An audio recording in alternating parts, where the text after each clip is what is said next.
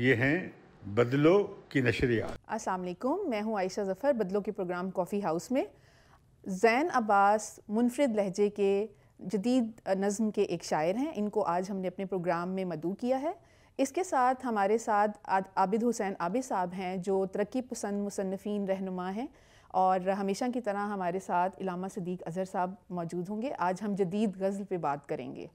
आबिद साहब, आप बताइए कि तरक्की पसंद नज़म और गैर तरक्की पसंद, नज़म में क्या फ़र्क आप महसूस करते हैं?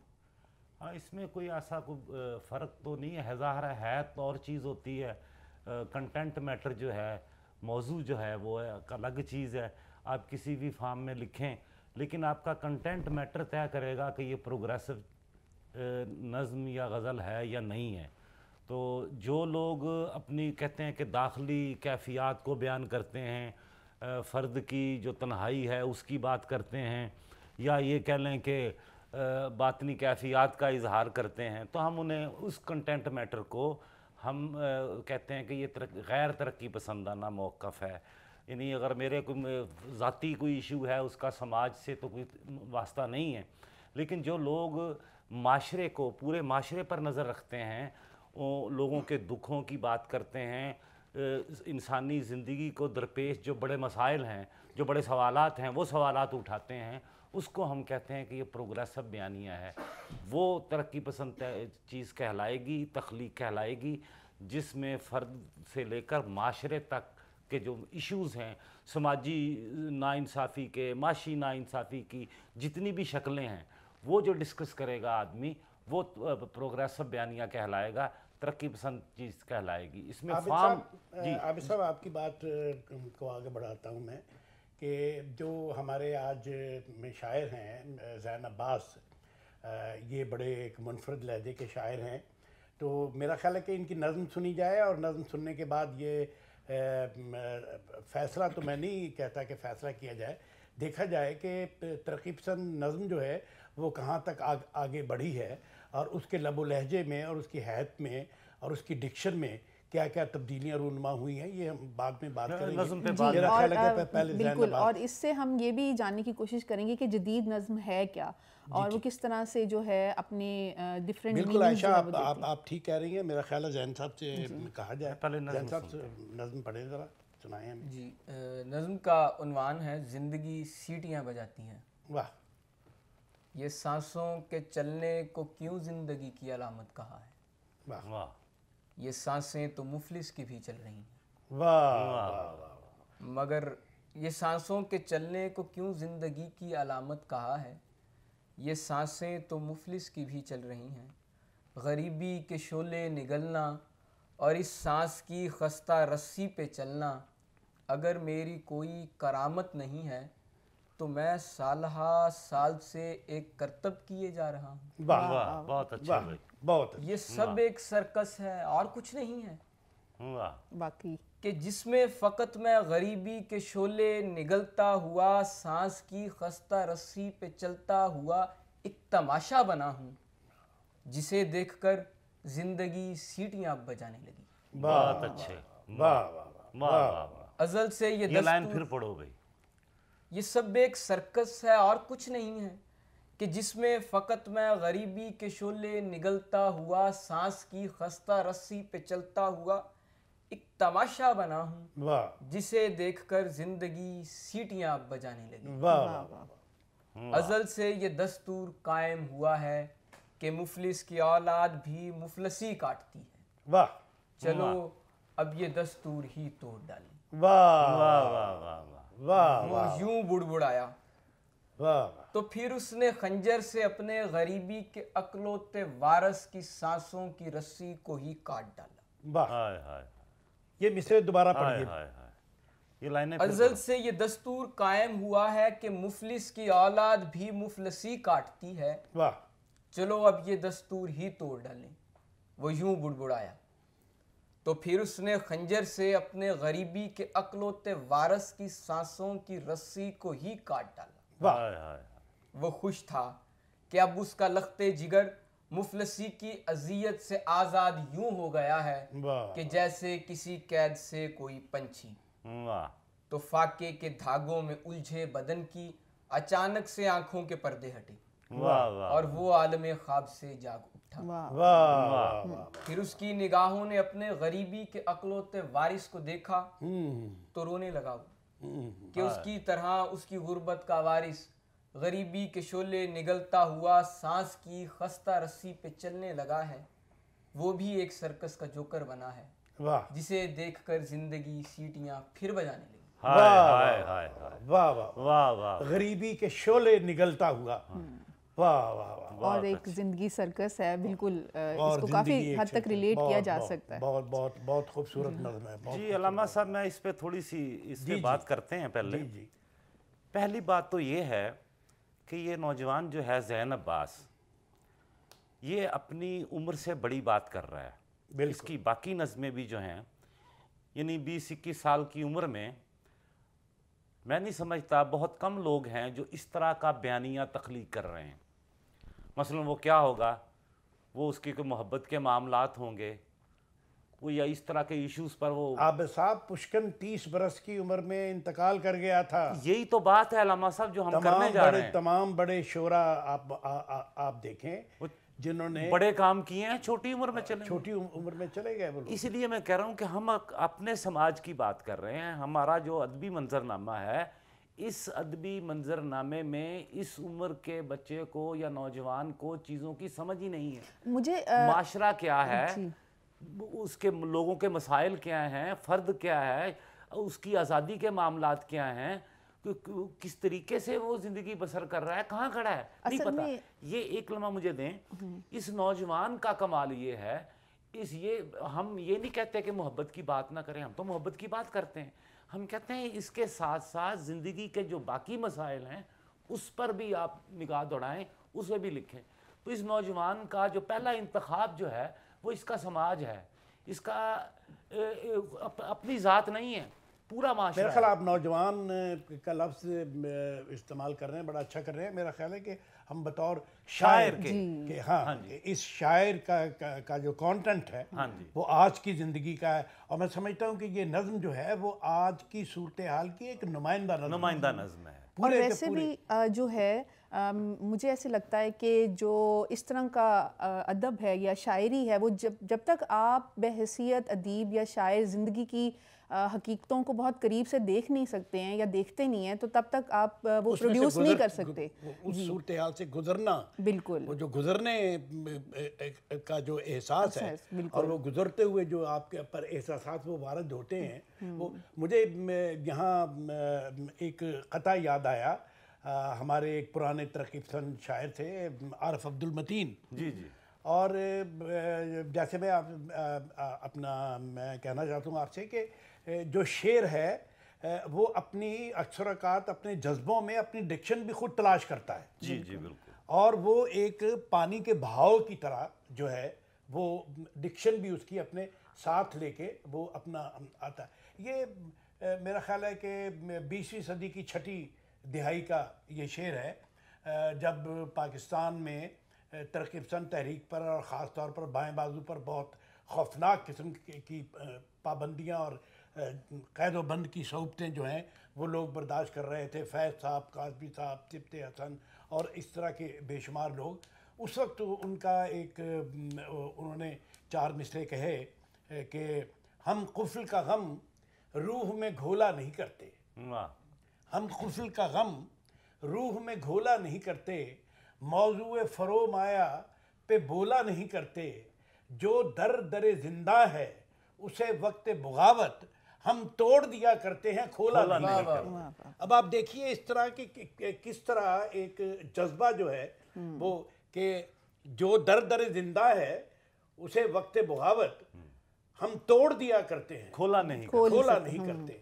और मैं समझता हूँ कि वो एक और लहजा था लेकिन आज जो ज़िंदगी में जो एक महरूमी ने पाकिस्तान के आवाम को जो है की आम माशी और ज़िंदगी की तालीमी और आम समाजी महरूमियाँ जिस हद तक हमारे इर्द गिर्द फैल चुकी हैं और ये नज़म उनकी नुमाइंदा है।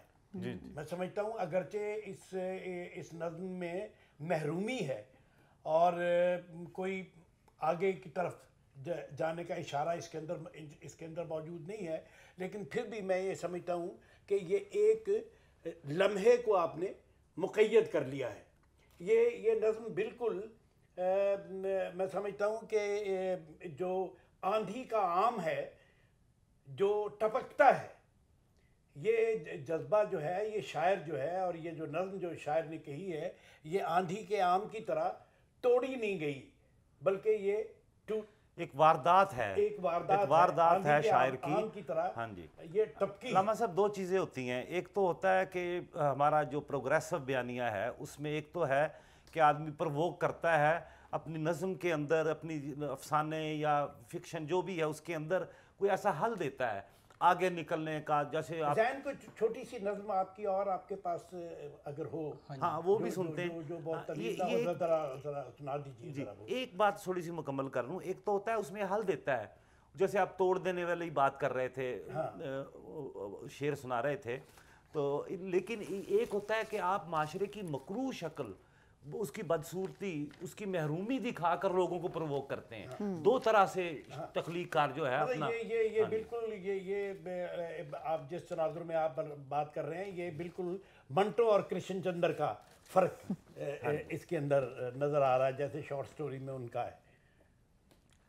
हाँ जैन सुनाइए अपनी कोई दूसरी। तरह मुख्तसर सी हो। हाँ हज़ार अच्छा इलामा साहब? जी जी। जितनी देर में जो हैं वो अपनी नज़म कोई सिलेक्ट करते हैं तो मेरा सवाल आपसे ये होगा कि आप नज़म और गज़ल में तख्लीकी तौर पे क्या जो है वो फ़र्क देखते हैं? और आपके ख्याल में वो तख्लीकी लिहाज से अपने लिखने वाले उसके को उसके मर, मर, मरहलों में कि क्या क्या मतलब फ़र्क होता है? मेरा ख्याल जैन क्या पहले। नज़्म सुन लें। फिर इस पर बात करते हैं। इस नज़म का है आज़ारबंद। सुलगने वाले नगर की रोशन सड़क पे कोई फटा पुराना लिबास पहने ये कह रही थी। वाह। हाय हाय। सुलगते वाह। वाह सुलगने सुलगने वाले। वाले नगर की रोशन सड़क पे कोई फटा फटा पुराना। लिबास पहने ये कह रही थी हवस परस्तो मेरे बतन से गिरे जनाजे तुम्हारे चेहरे पे थूकते हाय हाय। हाय हाय हाय। वाह। कई गुले नौ दमीदा अपनी फटी कबाओं पे रो रहे हैं। वाह।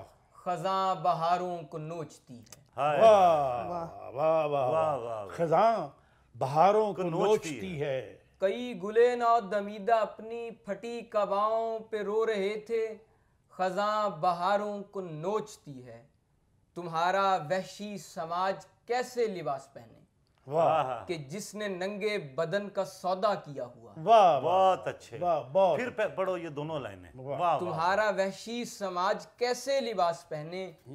कि जिसने नंगे बदन का सौदा किया हुआ है। तुम्हारी आँखें दरिंदगी से भरी हुई हैं। वाह वाह वाह। तुम्हारी शलवार गिर रही है। वाह। तो बस्ती वालों सुनो तुम अपने लिए ये आजार बंद ले लो। वाह तो बस्ती वालों। तो बस्ती वालों सुनो तुम अपने लिए ये आजार बंद ले लो। बहुत ही अच्छा बहुत ही सस्ता। ये तीस का एक पचास के दो ये तीस का एक पचास के दो। तुम्हारी शलवार का गला ये दबाए रखे हमारी इज़्ज़त बचाए रखे। ये तीस का एक पचास के दो। बहुत वाह वाह वाह बहुत अच्छे। वाह वाह जैन वाह जैन बहुत खूबसूरत। ये उलामा इस- साहब ये है प्रोग्रेसिव बयानिया जिसकी हम बात कर रहे थे कि प्रोग्रेसिव और गैर प्रोग्रेसिव जो है तखलीक उसमें फ़र्क क्या है? ये है ये देखें आज का सवाल है। Exactly. आज कल जो आजकल हो रहा है, हो रहे हैं बिल्कुल। ना पाँच साल की बच्ची, बच्ची महफूज है ना अस्सी साल की औरत महफूज है। तो ये सोचने वाला हसास आदमी जो है इस तरीके से चीज़ों को अपनी गिरफ्त में आप, लेता आप है। देखें कि वो जो एक अपना यहाँ पर मोटरवे पे जो वाकया हुआ है हाँ जी। उस वाकये के बाद दर्जनों वाकयात और हो चुके हैं। जी। और हो चुके हैं। जी ऐसा ही तो और-। ये है वो शायर जो। आवाम के साथ खड़ा है जो ज़िंदगी को देख रहा है। और अब वो खबर जो है वो एक काल में छपती है। जी। वो वो जितना उस खबर को जितनी अहमियत मिली और वज़ीर आज़म भी परेशान और जनाब अल वज़ीर अला के बयान भी और वजरा के भी और अब वो वाकयात जारी हैं। लेकिन वो एक सिंगल कॉलम खबर जो है वो छपती है। यानी इस ये माशरे में इस हद तक बेहिसी है कि एहसास होता है कि शायद वाकई में ये जो भूख है वो इतनी बढ़ चुकी हुई है कि वो ना ये देखती है कि कौन पाँच साल की बच्ची है या कौन अस्सी साल की औरत है जैसे आपने कहा।